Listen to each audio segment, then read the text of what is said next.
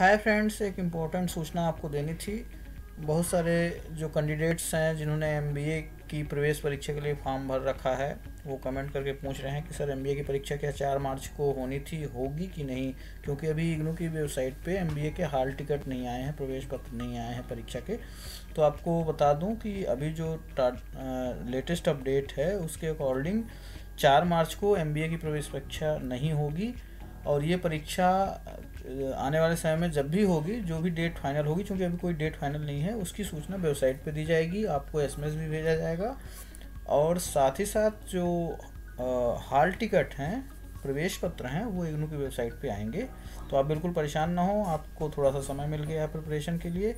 और आप इस चैनल को देखते रहें, हमने ऑलरेडी जो एमबीए के पुराने क्वेश्चन पेपर्स हैं वो इस चैनल में वीडियो में डाल रखे हैं, उसका लिंक भी हम आपको दे रहे हैं तो आप अपनी तैयारी करें और उम्मीद करता हूँ आपको ये वीडियो पसंद आएगा।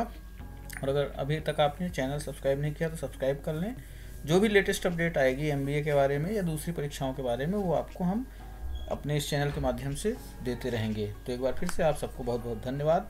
अगला अपडेट हम जल्दी ही देंगे। जो भी लेटेस्ट न्यूज़ आएगी, आपको बताएँगे। Thank you.